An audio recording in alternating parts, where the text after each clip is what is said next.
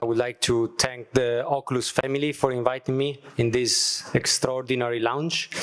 Um, and I'm going to try to speak about the Pentacam, the Corvis, the history, and what uh, we have now. So these are my financial disclosure. I'm very happy to have uh, been collaborating with Oculus since many years. And actually, since many years, I found this photo that I know that it looks very exactly the same as how I look now. I'm not older at all, but you know, this is a poster that I presented in Arvo 11 years ago, and I found this picture and I said, well, you know how much we have done in many years because like that, I remember that we had nothing whatsoever. We didn't have stiffness parameter. We didn't have CBI, TBI. So what I did then is I wanted to do a little bit of timeline of what we have achieved in the last years. And since the launch of the Corvis, that was more than 10 years ago, we have done so much and we have tried every time to put science before like showing every uh, um, showing you what is commercially available. We started with normality values, then we went on with the CBI. Then uh, at the same time, we showed that the CBI was able to detect subclinical keratoconus, then the TBI. Then Cinzia Robert showed stiffness parameters that were useful for many things. And then we decided to, you know, combine the technologies together to create the TBI. That was an amazing work done by Renato Ambrosio, and we were uh, very grateful to be part of that uh, uh, paper that now also, and you will see it at the end, has a new version, uh, the TBI version 2, but then we evolved and we worked on cross-linking uh, Chinese CBI. So I think that uh, Corvis has showed in clinical practice to be not only useful, but there are many societies that actually are saying that the use of biomechanics is very important together with tomography. So now we have another tool in the Oculus family. So why is it useful and how can we move it to the new technology and why I think that using OCT and epithelial mapping in general is absolutely mandatory if you, if you do anterior segment. So I'm going to uh, concentrate on two main topics. One is ectasia, ectasia detection, and the second one is refractive surgery and fixing complication. So I wanted to just speak about theory, because I, I think that there is a lot of um, misunderstanding in the scientific community because in the scientific community there are fashions so there are some period of, of science in which something is like brand new, we all want it, but we don't really understand what is before what. So the pathophysiology of keratoconus has two different things that we can evaluate, is shape, that is tomography, non-OCT, for example, Scheimpflug, and then you have tomography OCT that it also adds epithelial maps. And then you have structure and risk factors, such as corneal biomechanics and tear film analysis and genetics. So by definition, the cycle of keratoconus starts with a normal cornea. You're not born with keratoconus. And as Cinzia Roberts showed us, there is one moment in which there is a focal reduction of corneal biomechanical properties. We don't know how this happens. It might be genetics, it might be eye rubbing, it might be inflammation. So possibly that's the only moment in which you can detect something before anything happens in the cornea, right? After that, you have a change in the structure of the cornea.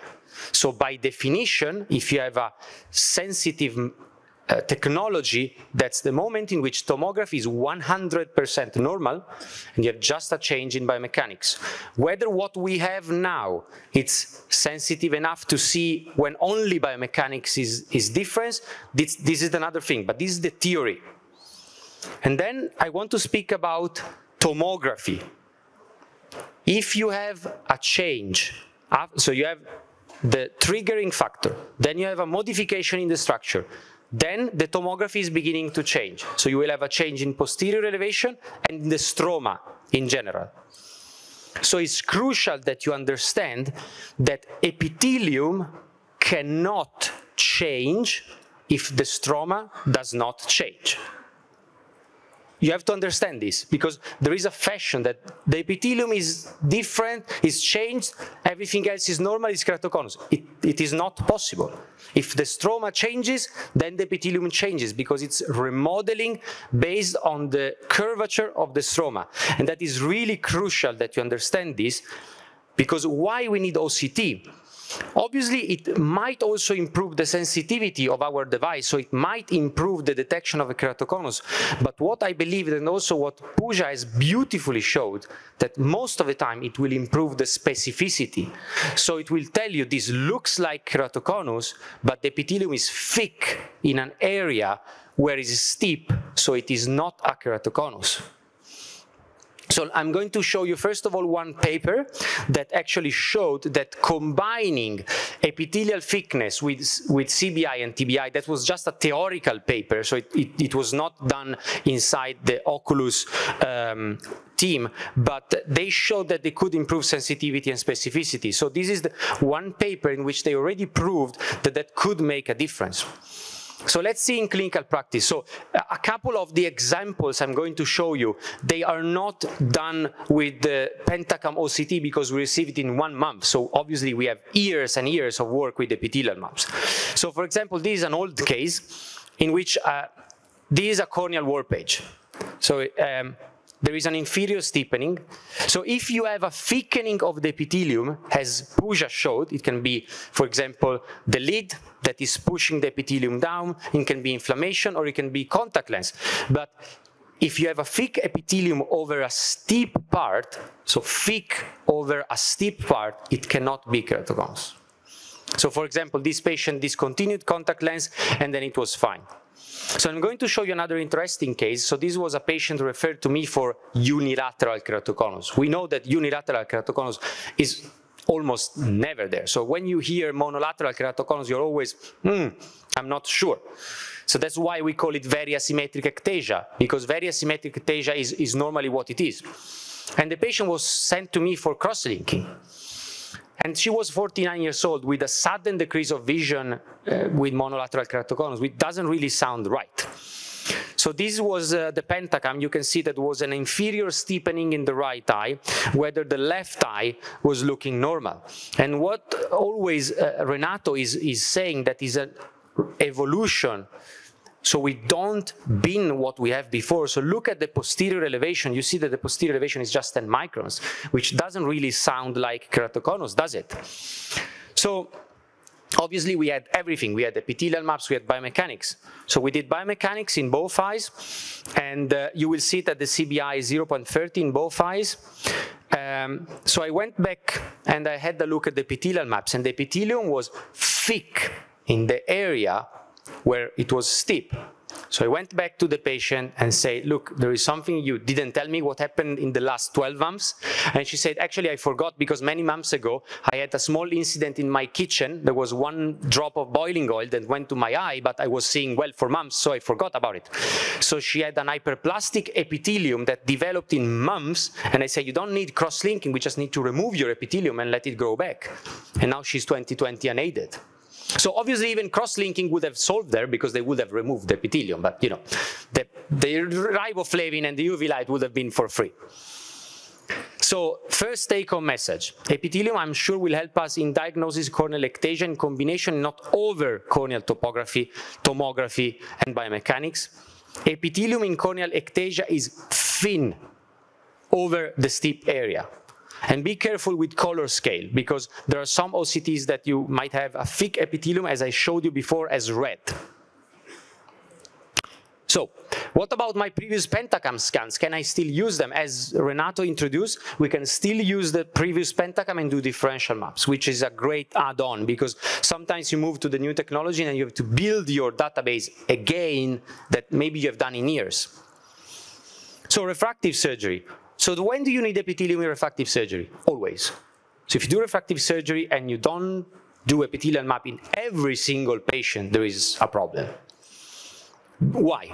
You need it in pre-op, for particularly for trans-PRK. You need it all the time in PTK. You need it in normal post-op to, to evaluate remodeling and regression. And if you have an abnormal post-op, to fix it. So for pre-op planning, this is going to be a very quick slide. So this is just to show you if you do a trans-PRK for a hyperopic patient and you do not take into account the thickness of the epithelium, if the epithelium is thicker than normal, you might do a wrong correction. If the epithelium is thinner, you use more tissue. So it is absolutely crucial in trans-PRK that you know exactly your epithelial thickness. And obviously, the more is the resolution, the better it is. So what about complex patients? So imagine that you have to do a PTK patient with a, in a patient with epithelial basement band dystrophy. It's crucial that you know the thickness of the epithelium. And now I wanted to finish up my talk with one, the summary, because you know you have seen that the um, topic of my presentation were the three pillars. So I, have, I, I, found a case, we were lucky enough to got this patient that is really showing how the three pillars are useful. Plus, I'm, I'm sorry, but you will still need to use your brain. So you cannot forget to use your brain. That's always important. So it was a patient coming, thank God, from another clinic. This patient was done an hyperopic lasing in 2009 for a plus four and plus five. Guess what? The patient regressed and they decided to do a four retouches and flap relift. Four. And the patient consented for ectasia. Obviously very poor vision, and obviously epithelial ingrowth. You do a four times flap relift. I mean, it's if you're, you're really lucky if you don't have epithelial ingrowth. So, is it uh, regression? Is it epithelial ingrowth or is it ectasia? Let's see the pentacam. So you can see that there is a clear, very bad steepening in the center. There is no increase in posterior elevation. As always, you still need to use your brain. You have epithelial ingrowth here.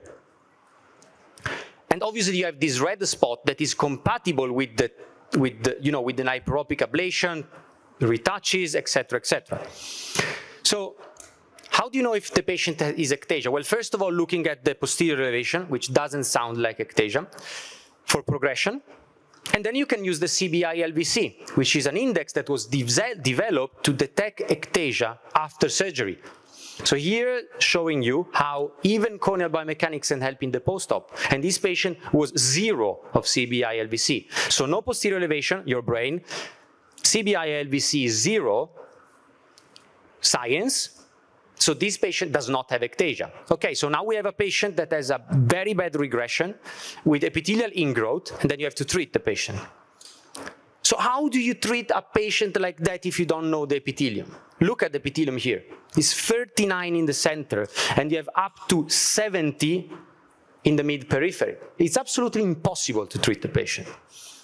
And let me show you, but you may say, well, I don't need a high resolution epithelial map or a nice resolution OCT to know that the epithelium is thick. Yeah, I'm going to show you the high resolution epithelial, the high resolution OCT here, and you can clearly see that what is called here it's the, this hyperopic scar that you see underneath the flap because most of the time you can see it when they do PRK, but you can also see it underneath the flap. And here is really crucial to know how to retreat the patient. And this was, and I'm going to finish up with this take-home message that tomography is always mandatory. Corneal biomechanics has showed us to help us in many ways. OCT with epithelial maps is an additional fundamental tool for screening, post-refractive surgery, and fixing complication. And thank you very much.